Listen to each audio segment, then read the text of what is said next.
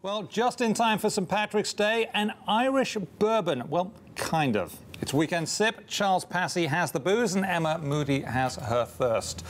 Thanks for being here. Sure. Thank you. you. Um, there it is. It, It's not quite a bourbon, but it sort of isn't a It's in whiskey, the, really. It's in the spirit of a bourbon. So Irish whiskey. It is definitely a spirit. You know that. Irish, whis- Irish whiskey is super hot right now. It's one of the biggest growing categories in America right now.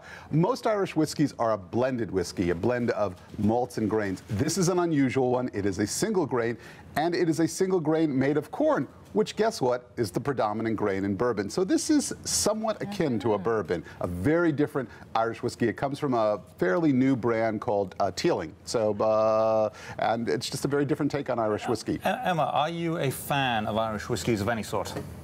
Not so much. Not so Uh, much. but this one does sound interesting because I am a fan of bourbon, so a bourbon-like substance could Well, be could be very appealing. Why don't you two tuck into that, and I'll explain. The, the aroma is sweet, um, it's, it's pungent, um, it, certainly it smells is. very inviting, certainly, and it, it's a beautiful color. I'm not going to say what color, because I'm colorblind, but it is beautiful anyway. Where would I buy this, Charles? Um, this should be pretty much at your local liquor store, particularly if it has a good selection of Irish whiskey. If it just has Bushmills and Jameson, maybe not so much.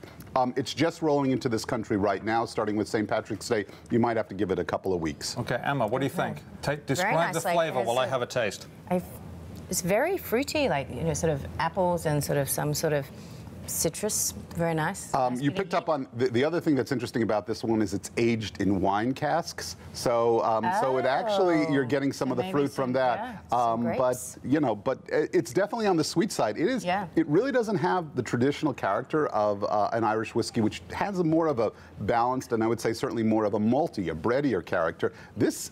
Is if it doesn't taste exactly like a bourbon, but it's not too far away from it either, I would say. Emma's really getting into that. I am. Uh, you I am. really I think I getting would just that. put this Now, down. what- what- no, please don't on our account. Why have these? well, I don't have a, a, um, a handle I on have- mine.